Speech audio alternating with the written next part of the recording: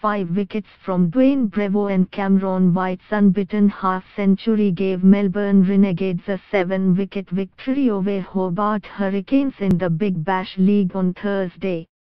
West Indian all-rounder Bravo claimed outstanding figures of February 5 8, in the process becoming the first bowler to take 420-20 wickets as the Hurricanes were restricted to 164-8 in their first game of the tournament. Ben McDermott and D'Arcy Short, both 34, were among several batsmen failing to build on starts and the home side paid the price. White, 79 not out from 59 balls, and Marcus Harris, 50, making half centuries to get the Renegades off to a winning start. Jofra Archer, 2-17, was the pick of the Hurricanes bowlers, but a double wicket maiden on the paceman's BBL debut proved to be in vain. White and Harris put on 113 for the second wicket and Brad Hodge added a brisk 22 not out as the Renegades got home with 9 balls to spare. Red Bar Ashes, Steve Smith was no let up on bouncers to England's tail. Bravo back with a bang. Bravo missed the last IPL due to injury, but set about making up for that disappointment in style at the expense of Hobart. The West Indian all-rounder ended an opening stand of 53 when Alex Doolan holed out to Brad Hogg and Bravo also removed the dangerous MC McDermott, who clubbed some lusty blows and looked well set.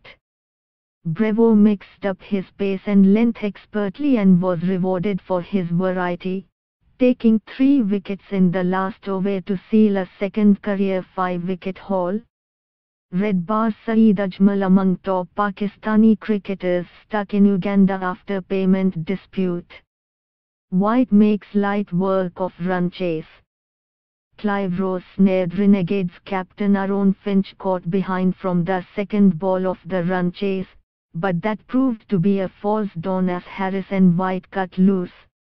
White skipped down the track to club Rose for six to bring up his half century, while Harris made exactly 50 from 34 balls before Archer removed the opener and Tom Cooper to give Hobart hope.